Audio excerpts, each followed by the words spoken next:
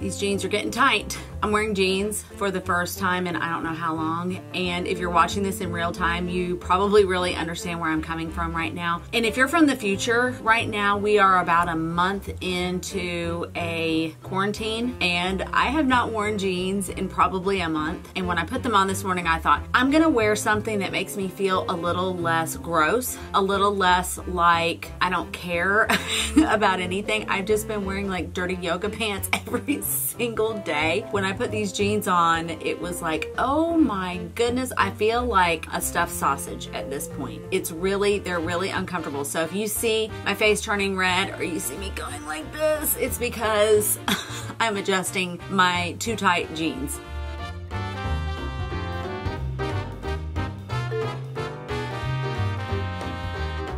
This week is just me rambling. I hope you enjoy it. I'm just gonna sit here and talk about everything that's on my mind, my current projects, the ones I just finished, and the one I am getting ready to start.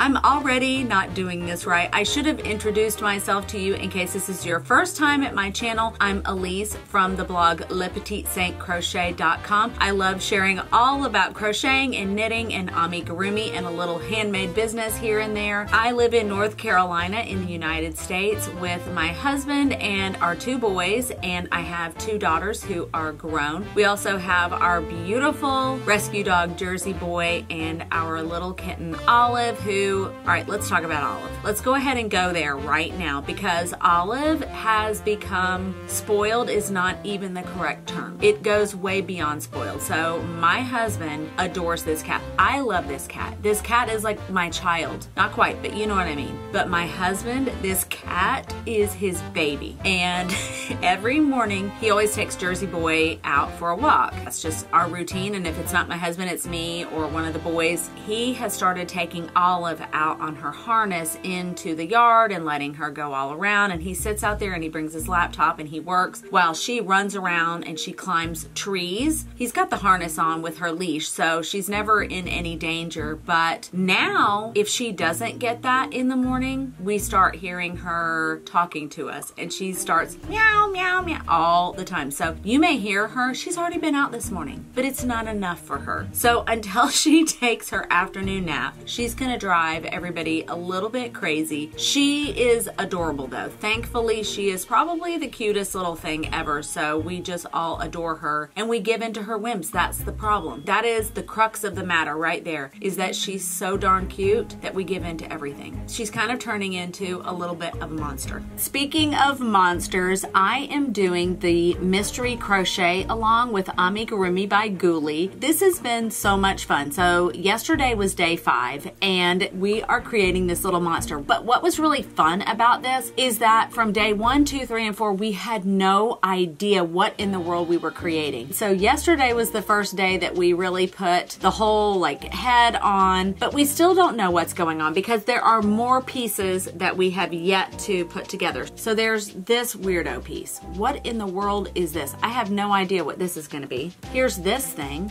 which at first I thought was maybe a tongue, but I don't know what. I have no clue what this is gonna be. Then we have six of these little things. I just don't know. It's really fun though. I really love all of Amigurumi by Ghoulie's designs. They're typically very, very detailed, which I love. And I also learn a lot from her because she does things that are a little bit different than what I've done before. And I would actually say that some of her techniques are more advanced amigurumi skills So when I did a project called Grunkle back in the fall of, when was that? Fall of 2018. There's a whole story behind Grunkle, which I will tell in just a second. There were so many details with this project. I really got a little bit frustrated during it because I wasn't able to do certain parts of it and she and I were messaging back and forth and she was so great to really show me how to do things. I would really recommend if you're looking to challenge yourself, do one of her patterns. Now this mystery crochet along with this adorable little monster is free on her Instagram. So every day she has been posting the actual pattern and then she actually has videos. Now she is Turkish and she is not speaking English, but it doesn't really even matter. I actually just turn my volume all the way down and then I just watch what she's doing and it has been so incredibly helpful and I've learned quite a bit with this and I feel like sometimes stretching yourself and doing a project that maybe is not, maybe it's a little bit out of your skill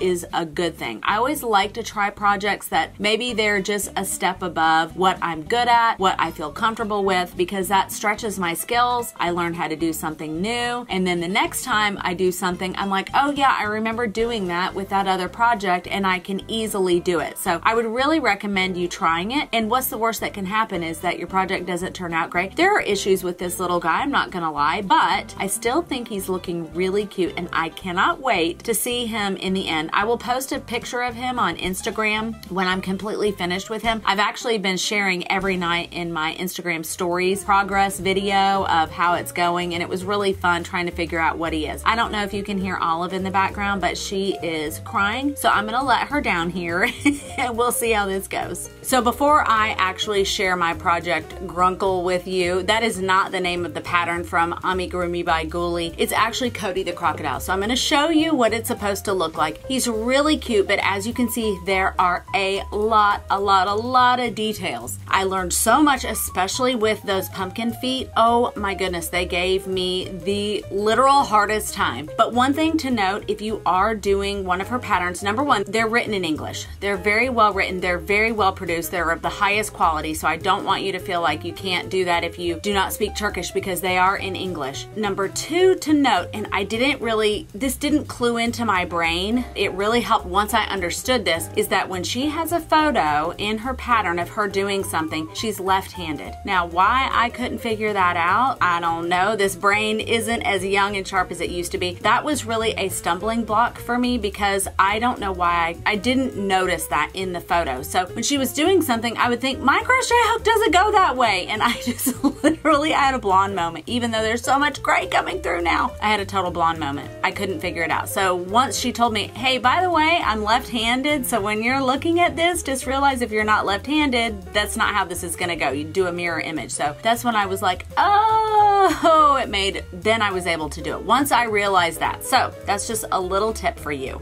So here is my little Cody the Crocodile, also known as Grunkle around here. And as you can see, something doesn't look really right with him, and here's what happened. So if you notice here on the face, he has no eyes, and he has no snout here, and that's because a dog ripped it off. Now, don't go blaming Jersey Boy because Jersey didn't do it. So it was my mom's dog. So here's the whole story in case you care about it. I actually wrote an entire blog post about it because I ended up having so much fun with it because we created a whole mystery mystery around it. What happened was my daughter Caroline loved Grunkle and she wanted him for herself and I thought of course she can have him. I gave Grunkle to her and she had it in her room. Now my daughter Caroline lives with my mom now. So my daughter Caroline is in her 20s. My mom is a lot older than that. So my daughter is there to kind of help my mom out and it allows my daughter to have a little bit of freedom so that she doesn't have to live at home and it is a mutually very nice situation for both both of them, for all of us really. My mom has a wonderful dog named Pippa. Now Pippa is quite young still. She's only three, about to turn three, and this was over a year ago, so she was only two, so really almost still a puppy. And let me just say, she is a very um, active and mischievous dog, and she got a hold of Grunkle and ripped his face off. This is the exact reason why I do not call safety eyes safety eyes. They're not safe. That dog ripped those eyes right out of his head. So the eyes were actually here and here and she ripped them right off. Now it is a dog, but it always has stuck in my mind and it has made me realize that I will never ever call them safety eyes again. Well, I call them safety eyes, but I will never think of them as safety eyes again. They're not safe and that is a misnomer to lull yourself into a sense of security that they could not come off, a child could not choke on them or a dog or whatever. I will never do that again. Now I am extremely cautious anytime I sell something now, I list it in the Etsy listing that this is not a toy. What I create are not toys for children. They really are just collectible things, nursery decor, those types of things. And now, especially when when I knit toys now, I actually do French knots, which that's a lot more safe. They're not a hard piece of plastic that could get caught in a throat. Now, I am still going to use safety eyes. That's not to say I'm not going to use safety eyes because I'm going to for all of my amigurumi, my crocheted projects. That's the way it is. But they are not intended for children to use that are under three years old. Now, if a child is a little bit older and they are not going to rip this thing out with their teeth, then that's fine. Just a word of caution, be really, really, really careful if you are selling or giving your toys away that you are explaining to people that those eyes can come off. They're not like manufactured toys that have eyes that are literally concreted into those toys' heads and are never gonna come out because ours are handmade. So that's just a little word of caution. I am one of these people who thinks of all the most horrible things that could happen in a situation. So My mom calls me a little ray of sunshine sometimes because I can think of literally any horrible situation. I can see it coming a mile away. That's my spiel. If you want to go see the Grunkle post, it's really ridiculous. I created a whole story and a mystery about how this happened and how we solved the crime and that some of the other amigurumi toys were investigators and detectives. So I actually had a lot of fun with it, but that's just my childish imagination going crazy. So now let's talk about my my finished project this week. I am in love, I must say. This, of course, is a pattern from Little Cotton Rabbits, and it is the fox pattern, and I'm in love, you guys. I'm not selling this one. This one's mine. I'm keeping her all for my own. This is from the Textured Dresses pattern, which I had never used before. I have done the seasonal dresses. I've done the dresses that come with each animal pattern, but I just recently purchased the Textured Dresses pattern, and I'm in love. I literally am, you know, I was really in a color work phase before and I wanted to do all the color work, all the fair isle, and I was really enjoying that. But right now, I'm, I don't know. I think maybe it's because we are in this crazy time and I just want a little simplicity. I want something that is beautiful, but maybe a little more simple. And I think that this turned out so gorgeous. This is the little dot dress in that pattern pack. There are 20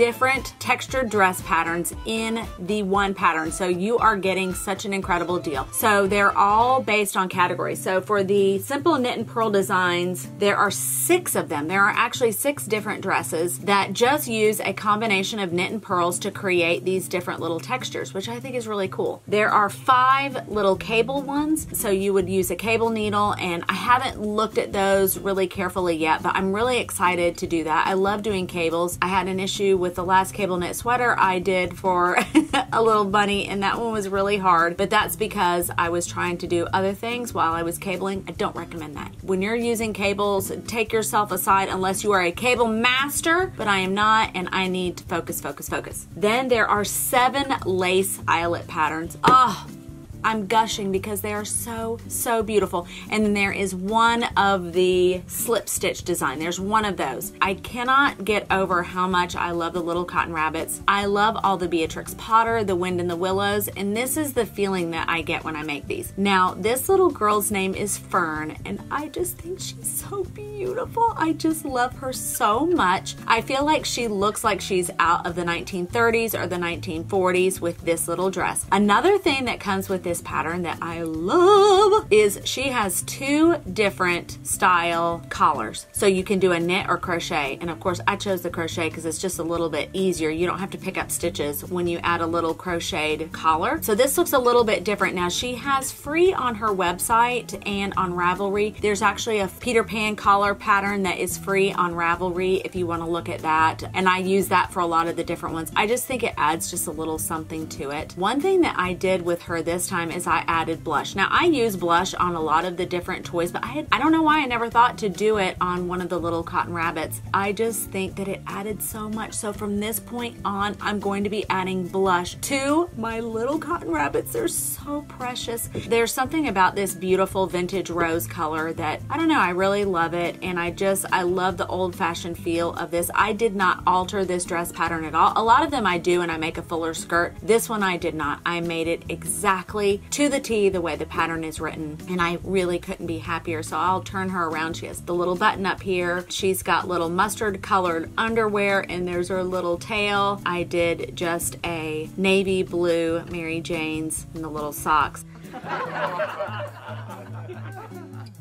I hope you enjoyed this video today. I hope it wasn't me just sitting here rambling and you're thinking, why in the world does this lady keep talking? I really just wanted to connect with you. My brain is really having a hard time doing anything that takes a tremendous amount of effort right now. I don't know if you're in the same boat. It's just been a really difficult time. To me, right now, I am craving interaction. I am craving connection with people so much. So that's why I just wanted to make a video where it's like we're just sitting down and chit chatting about all of our favorite projects and random things. I'm really glad you're here today. I'm so glad that you have stuck with me. You all mean the world to me when you give me comments and let me know where you're from. I literally, I get so excited when I hear from you guys. So if you would leave me a comment, I would love to hear from you. I love knowing what projects are you working on? Are you a crocheter? Are you a knitter? Do you love amigurumi? Do you just think I'm a weirdo? I would love to hear from you though. And if you would please hit that like button, that subscribe button, that would be awesome. I'm going to leave links for all of the resources in the description box below so you can find all of the patterns and you can find all the resources. That way, in case you want to make something for yourself, if you want to make a Cody the Crocodile for Halloween or one of the little cotton rabbits or this little adorable monster, I'm going to leave it all in the description box below. I'm going to see you guys really soon. I hope you all stay safe and happy stitching.